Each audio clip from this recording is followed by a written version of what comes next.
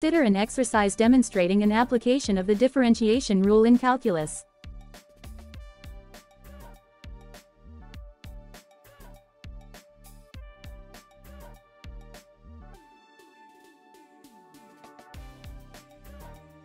The slope of the tangent is dy dx. Hence, differentiate the equation of the curve with respect to x using the differentiation rule.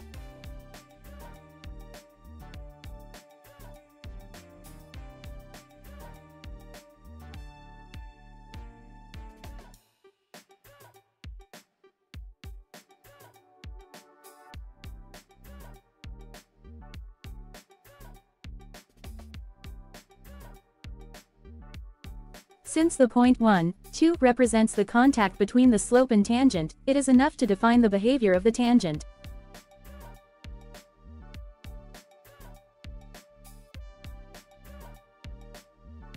Substitute x equals 2 into dy dx to get a slope equal to 10.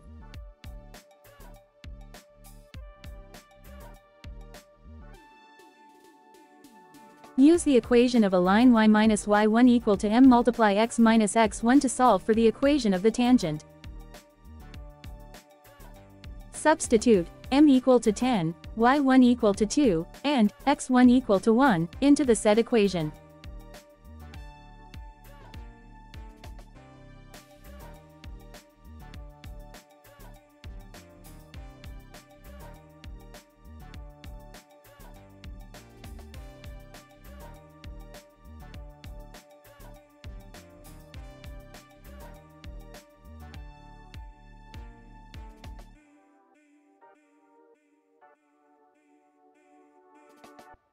This should give the equation of the tangent as 10x minus y minus 8 equal to 0.